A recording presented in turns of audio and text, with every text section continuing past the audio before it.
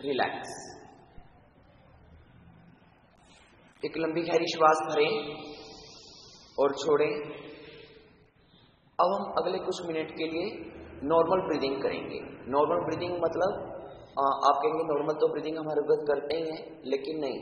हम हर वक्त एब नॉर्मल ब्रीदिंग करते हैं। मैक्सिमम ऑफ़ पर्सन जो है प्रॉपर तरीके से जो नेचुरल ब्रीथ का जो स्टाइल है उसको फॉलो नहीं करते हैं। हमारी जो ब्रीदिंग करने का जो तरीका है वो करेक्ट नहीं है। तो सही तरीका क्या है ब्रीथ करने का? जो हमारा ब्रीथ करने का जो नेचुरल तरीका है वो है कि हमारी जो ब्रीथ है वो एबडोमिनल ब्रीदिंग होनी चाहिए। यानी कि हमारी जो सांस है वो लंबी गहरी और जो निश्वास है वो भी लंबी और गहरी होनी चाहिए। आई I मीन mean, जब आप सांस लें तो आपकी सांस इतनी गहरी होनी चाहिए कि उसको लेने से आपका पेट फूलना चाहिए। और जब आप सांस छोड़ें तो आपका निश्वास इतना गहरा होना चाहिए कि आपकी बाहर निकलती श्वास के साथ आपका पेट पूरा अंदर की ओर फोल्ड होना चाहिए। यानी कि इतनी लंबी गहरी सांस लें कि आपका पेट फूले और इतनी गहराई से सांस छोड़े कि आपका पेट पूरा अंदर की ओर फोल्ड हो। लेकिन अभी हम क्या करते हैं?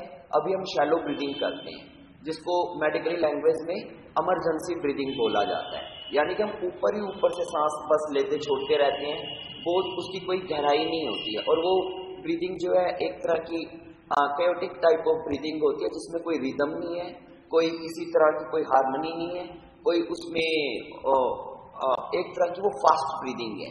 और इस तरह की ब्रीदिंग से फिर हमारे जो लंग्स को जो प्रॉपर ऑक्सीजन चाहिए या जो हमारे हार्ट को जितनी गहरी ब्रीदिंग से जो ऑक्सीजन मिलती है वो जो उसे चाहिए वो नहीं मिल पाती है। तो अभी आप क्या करें अपनी कमर को सीधा रखिए और डीप ब्रीथ करें। लंबी गहरी श्वास लें और छोड़ें। लंबी खैरी श्वास लें और छोड़ें।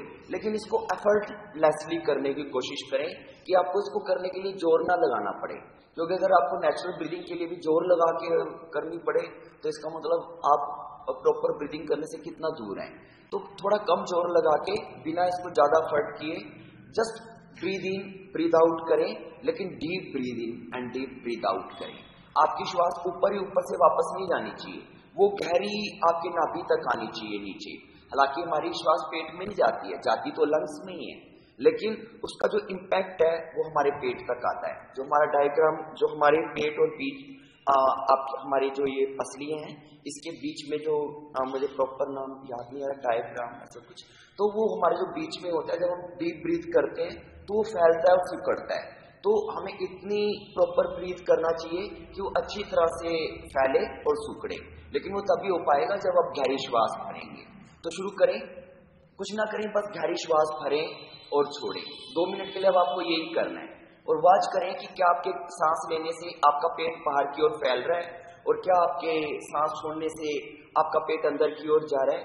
अगर आपके श्वास लेने से आपका पेट फैलता है, जिसको हम एब्डोमिनल ब्रीदिंग बोलते हैं तो आप राइट सांस ले रहे हैं। बेशक आप अपने पेट पे हाथ रख के देखें, अगर आपका पेट फैलता है तो यू आर राइट लेकिन अगर आपका पेट ना फैल के आपकी चेस्ट पे श्वास चली जाती है ऊपर से तो पुअर स्टाइल ऑफ़ ब्रीदिंग है। तो आपको फिर पूरी ऑक्सीजन आपकी शीट को नहीं मिलती है। करते रहें। और इस ब्रीदिंग स्टाइल को ये नहीं कि केवल यहीं पे आप दो मिनट के लिए, तीन मिनट के लिए किया और फिर वही शैलो ब्रीदिंग करनी शुरू कर दिया आपने। आपने डे आउट भी, जब भी उठते, फिरते, चलते, फिरते, आपने चेक करना है कि आप किस तरह की श्वास ले रहे हैं। अगर आप उथली सांस ले रहे हैं शैलो ब्रीदिंग कर रहे हैं तो उसको फिर डीप ब्रीदिंग में कन्वर्ट करें। इसको हम एब्डमन ब्रीदिंग बोलते हैं, जो नेचुरल ब्रीदिंग है। आपको मालूम है, जब बच्चा जन्म लेता है, जब बेबी एक दिन का होता है, आपने देखा वो कैसे सांस लेता है? उसकी जो पेट है, वो लगातार ऊपर नीचे होता है। वो छाती से सांस नहीं लेता है, क्योंकि वो अभी बिल्कुल फ्रेश एकदम नेचुरल तरीके से, प्राकृतिक तरीके से सांस ले रहा है। लेकिन जैसे जैसे वो बच्चा बड़ा होगा और उसकी आदतें बिगड़ेंगी हमारी तरह तो फिर वो भी शैलो ब्रीदिंग लेना शुरू कर देगा।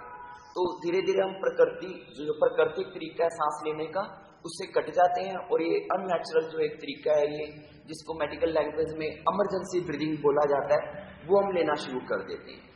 तो आपने इमरजेंसी ब्रीदिंग नहीं लेनी है। इमरजेंसी ब्रीदिंग तभी करें जब कोई इमरजेंसी हो। मान लीजिए आपके ऊपर कोई इमरजेंसी आ गई, आपके घर में आग लगी है और आपने उसको बुझाना है, तब आप आराम से बैठ के गहरी गहरी श्वास थोड़ी भरेंगे। ज़ाहिर है उस वक्त आपकी जो ब्रीदिंग है बहुत फास्ट हो जाएगी, आप घबरा जाएँगे, आपका हार्ट रेट बढ़ेगा और आपकी श्वास बहुत शैलो और उथली हो जाएगी। लेकिन जब आप नॉर्मल हैं, बिल्कुल ठीक है तो अपनी ब्रीदिंग को भी नॉर्मल रखिए। जारी रखिए। चेक करें कि आपकी श्वास पेट से चल रही है या नहीं चल रही है। एक मिनट के लिए और करें। ये इतनी आसान है तो इसका मतलब ये नहीं, इसकी कोई वैल्यू नहीं है। इसको जीवन का एक अंग बनाएँ कि जब भी आपने सांस लेनी है तो गहराई से सांस भरनी है और गहराई से ही सांस छोड़नी है। और आप हैरान हो जाएँगे, अगर आपने इस पैटर्न को अडॉप्ट कर लिया, अगर आपकी बॉडी ने इसके एडजस्टमेंट कर ली और आपका एक नेचुरल अगर अंग बन गया कि आपकी श्वास अब गहरी ही चलती है।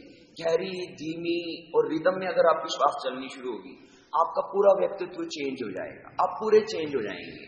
आपकी नेचर चेंज हो जाएगी, आपकी पर्सनैलिटी चेंज हो जाएगी, आपको गुस्सा आना बंद हो जाएगा, आप शांत हो जाएँगे, कितनी तो बीमारियाँ आपकी खत्म हो जाएँगी, सिर्फ़ एक ब्रीदिंग के पैटर्न को चेंज करने से। हमारी ज़्यादातर जो शारीरिक और मानसिक बीमारियाँ हमें लगती हैं, उसमें बहुत सारी तो इसी करके लगती हैं, क्योंकि हम प्रॉपर ब्रीदिंग ही नहीं करते। हम बहुत शैलो और उतली ब्रीदिंग करते हैं, जिससे कि हमारे शरीर को पूरा पोषण नहीं मिलता है ऑक्सीजन नहीं मिलती है। कुछ सेकंड और अपना ध्यान अपनी श्वास के ऊपर ही रखें और गहरी और लंबी श्वास भरें। आपने देखा जब आप डॉक्टर पे जाते हैं तो आपको क्या बोलते हैं, जब उन्होंने चेक करना होता है, गहरी श्वास लें।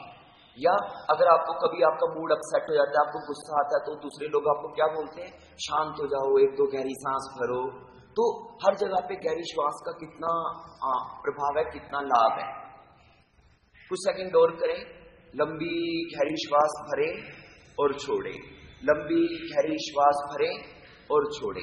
और जब भी आपको अपने आप को शांत करना हो, कुछ ना करें, सिर्फ़ दो तीन मिनट के लिए लंबी गहरी श्वास भरे और छोड़े।